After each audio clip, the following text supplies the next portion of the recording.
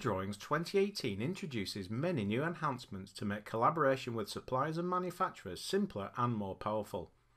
You now have the option in SOLIDWORKS to embed decals within the part or assembly file. Previously, eDrawings would only display standard decals stored locally.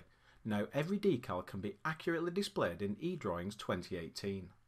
You can now instantly see if any markups have been created with a new indicator down on the markup icon. A brand new quick access toolbar helps you get to commands such as open, save, print and options. And the plus icon next to the component tabs gives you a shortcut to quickly open a file. A new open progress indicator keeps you updated on how eDrawings is doing getting the assembly loaded. eDrawings 2018 now supports the very latest graphics pipelines. Make sure Graphics Boost is set to fastest speed to take advantage of the performance improvements. If you need to move components or make a measurement, you can now set the units to feet and inches. This gives you more flexibility in the day-to-day -day interrogation of models. Switching back to SOLIDWORKS, model-based definition is a great way to communicate your designs without the need to create 2D drawings. 3D views contain dimensions and other annotations for multiple configurations of the design.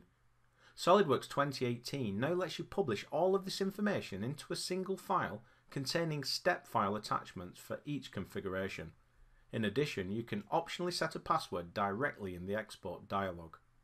Back in eDrawings 2018, the model is accurately displayed along with all the related dimensions and 3D views for the default configuration. The 3D views of other configurations can be shown with the new Show All option. eDrawings also indicates the configuration name at the bottom of the screen to remove any confusion. The attachments specified in SOLIDWORKS are also clearly visible. Each attached step file can be viewed, extracted to disk or deleted.